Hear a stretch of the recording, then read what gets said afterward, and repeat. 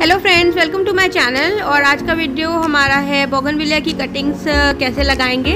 तो मैं आज आपको बहुत अच्छा और सही तरीका बताने वाली हूँ और इस तरीके से आप अगर कटिंग लगाते हो तो आपकी कटिंग कभी भी फेल नहीं होगी।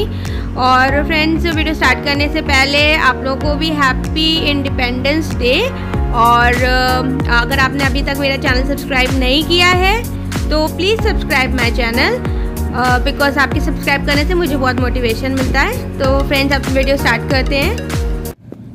फ्रेंड्स कटिंग लगाने के लिए मैंने सॉइल तैयार कर ली है। इसमें है सैंड सॉइल और कंपोस्ट मैंने वर्मी कंपोस्ट क्योंकि अच्छे से डिकम्पोज हुई होती है। तो मैंने डिकम्पोज हुई हुई जो है अच्छे से खाद ली है जो कि वर्मी कंपोस्ट है। तो ये मैंने इक्वल रेशो में मिक्स कर लिया है। थोड़ा सा सैंड मैंने ज़्यादा रखा है और कॉम्पोस्ट सॉइल के कंपेरिजन में। तो आप भी इस तरीके से जब भी कटिंग लगाएँ बोगनविलिया की कटिंग में लगा रही हूँ, और ये किसी भी आप कोई भी कटिंग लगाएँ तो इस तरीके का ही मिक्स बनाए। तो ये तो मेरी सॉइल मैंने आपको दिखा दिया, ऐसे मैंने प्रिपेयर करी है। मैंने लिया कुछ वाटर वाटर में ये सबसे इम्पोर्टेंट स्टेप है फ्रेंड्स और आप प्लीज़ वीडियो को लास्ट तक देखना ज़रूर, क्योंकि अगर आप एक भी स्टेप मिस कर देते हो तो आपको समझ में नहीं आएगा और कटिंग्स लोगों की बहुत फेल होती हैं बोगनविलिया की तो इसलिए मैं आज आप लोग को डिटेल में बता रही हूँ कि आपको क्या करना है। फ्रेंड इस पानी में आपको लेना है, ये फंजी साइड है, ये बायो फंजी साइड है। ठीक है, ये ट्राइकोडर्मा मैंने लिया, आपके पास जो भी फंजी साइड हो, अच्छी क्वालिटी का, जैसे साफ़ डावेस्टीन जो भी हो, वो आप ले सकते हैं, और आप इस पानी में इसको मिला दो, अच्छे से। उसके बाद हम फ्रेंड्स इसमें ये जो कटिंग्स है, इन्हें डिप कर देंगे। ये कटिंग मैंने तैयार कर रखी है। और देखो आप, ये जो है, हमेशा आप बोगनविला जब भी लगाओ तो ये ध्यान रखना, कांटे फ्रेंड्स ऊपर होते हैं, पत्तियाँ नीचे होती हैं। इस चीज़ का खास ध्यान रखें, क्योंकि कटिंग जो फेल होती है तो उसमें क्या होता है, हम लोग उल्टी कटिंग कभी कभी लगा, जब कट लगाते हैं, पत्तियाँ रिमूव करते हैं तो उसके बाद ये ध्यान नहीं रखते। पर आपको मैं एक पहचान बता रही हूँ कि कांटे ऊपर होते हैं, पत्तियाँ नीचे होती हैं। ये कटिंग सही होती है। और यहाँ पे मैंने एंड को नील पेंट से सील कर दिया है। और यहाँ पे देखो आप 45 डिग्री का एक कट लगा दिया था। ठीक है तो जब भी आप जैसे कटिंग अगर जब भी लेके आते हो तो अगर तुरंत लगा रहे हो तो भी आप 45 डिग्री का कट लगा लो। और अगर आप कुछ देर बाद लगा तो जैसे मैं कटिंग कर लेके आई थी, मैं आज लगा रही हूँ तो मैंने एक फ्रेश कट लगाया है यहाँ 45 डिग्री का। तो इस चीज़ का आप ध्यान रखो। और अब हम कटिंग को पंजी साइड में डिप कर देंगे, ताकि किसी भी तरीके का कोई भी इन्फेक्शन कोई भी बैक्टीरिया हमारी कटिंग में अगर हो, जो आ गया हो तो कटिंग के साथ तो वो खत्म हो जाए। क्योंकि सबसे ज़्यादा जो कटिंग्स हम लोग की नहीं लग पाती, उसका रीजन होता है कि फंगस या कोई भी इस तरीके का इन्फेक्शन जो होता है स्टेम पे, जो लगा रह जाता है, वो अटैक करने से ही हमारी कटिंग फेल होती है। तो इसलिए मैं जो है कटिंग को पूरा अच्छी तरीके से पंजी साइड में मैं डिप कर ले रही हूँ। तो ये फ़र्स्ट स्टेप है बहुत इंपॉर्टेंट स्टेप है इसे ज़रूर करना आप भी जब भी लगाना कटिंग तो आप देखो मैंने फंजी साइड में इसे डिप कर दिया है। अच्छे से ये देखो क्लीन भी हो गई है। अब हम स्टार्ट करेंगे फ्रेंड तो मैंने लिया यहाँ पर वही fast root powder rooting hormone powder है। ये रूट्स आने में हेल्प करता है फ्रेंड्स और आ, अब मैं क्या करूँगी कि एक और कटिंग रह गई थी मैंने देखा था।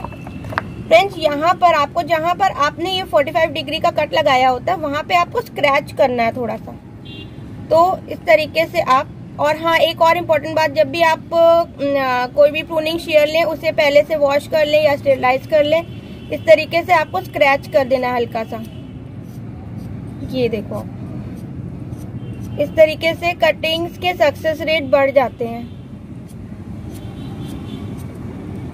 नोड एरिया के पास से आपको कट लगाना है और उसके बाद हल्का सा स्क्रैच कर देना है, जो स्किन होती है ऊपर वाली। ठीक है? इस तरीके से। ऐसे करके मैं सारी कटिंग छील लिया, सारी कटिंग्स को अपनी। और अब हम, और जो कटिंग है, उसका साइज़ जो है, आप देख लो, कांटे से देख लेना कि एक, दो, तीन, एक, दो, तीन, चार, पाँच।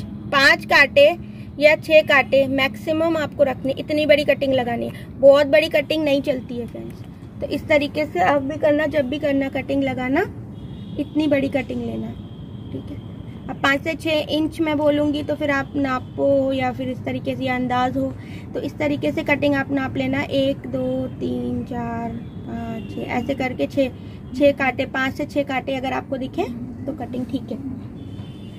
ठीक है? अब मैं ये, इसे रूट हार्मोन में डिप करूँगी। अच्छे से रूट हार्मोन लगा देना है। और उसके बाद हम कटिंग को लगा देंगे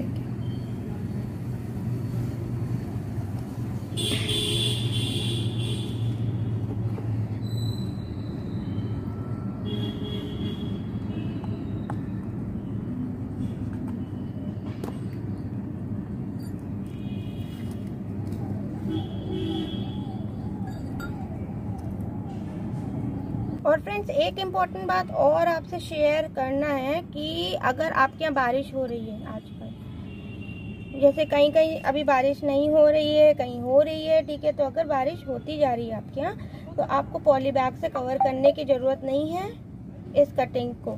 लेकिन अगर आपके यहाँ बारिश नहीं हो रही है, या स्कैटर्ड रेन है, कभी होती है, कभी नहीं होती है तो आप बिल्कुल जो कटिंग्स लगाएँ, उन्हें कवर भी करें पॉली बैग से।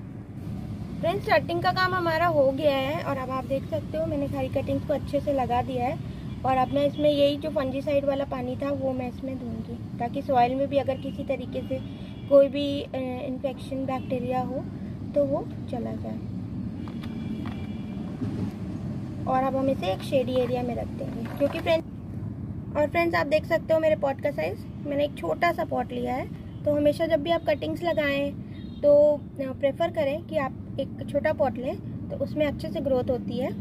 और क्योंकि जो न्यूट्रिशन रहता है, वो छोटे से एरिया में रहता है, और अब जब हम बड़े से गमले में लगाते हैं तो पूरा जो जो भी हम लोग खाद डालते हैं, जो भी फंजीसाइड जो भी चीज़ें ऐड करते हैं सॉइल में फंग या रूट हार्मोन वो सारा होता है ना, पूरा में फैल जाता है। तो कम अमाउंट में कटिंग्स को मिल पाता है। बट हम जब छोटे से पॉट में लगाते हैं तो फिर क्या होता है कि वो एक कॉम्पैक्ट रहता है कॉम्पैक्ट एरिया में रहता है। तो हमारी जो भी कटिंग्स रहती है, उनको अच्छे से उसका जो भी इफ़ेक्ट होता है, वो अच्छे से मिल पाता है। तो आई होप फ्रेंड्स ये आपको वीडियो समझ में आया होगा अच्छा लगा होगा।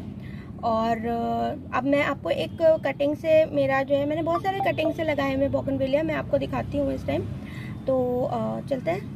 फ्रेंड्स ये है मेरी वो बोगनवेलिया जो मैंने कटिंग से दो साल पहले ग्रो करी है। तो इसी तरह की देखो आप यहाँ पर देखो, यहाँ पर देखो, ये कितनी मोटी सी कटिंग मैंने ली थी और अब देखो कितना अच्छे से ये ग्रो हुआ और इतना बड़ा सा मेरा ये प्लांट बन गया बोगनवेलिया का। ये ऑरेंज कलर की बोगनवेलिया का प्लांट है। लगाने का तरीका बिल्कुल सेम था।